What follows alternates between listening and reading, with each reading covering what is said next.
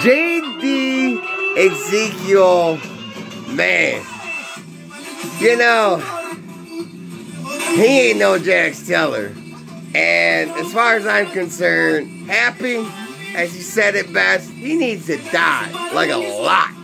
Ezekiel disrespecting Al Pacino because he, I love Amelia. He stole the episode, no doubt, along with Nails. Those two actresses, holy shit. Because see, Al Padrino learned the lessons from Jax Teller, from Clay, from Bloody 92, and all the history with the Sons of Anarchy. So we all know the fuck the happy, the fuck the Jax Teller lines that are coming from the Mayans are from Elgin James. Keep his name out my mouth, you motherfuckers. You know, like Jesus.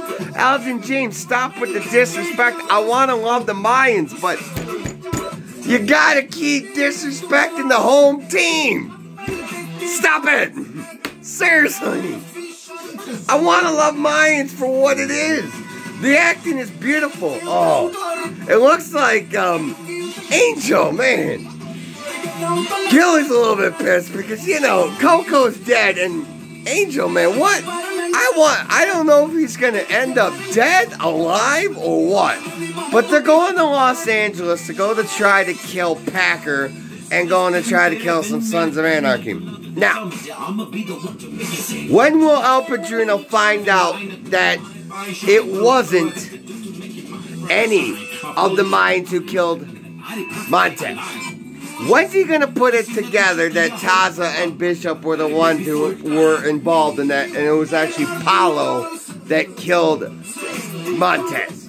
That is the moment, and then the whole war is gonna shift. And Ezekiel, I just, I hope he dies. I just want that character to go away. He's very unlikable. He's a power hungry asshole. These kids nowadays just disrespecting the legacy, pissing all over Jax Teller, pissing all over Happy. We earned our respect, just like Al Padrino. Leave us alone.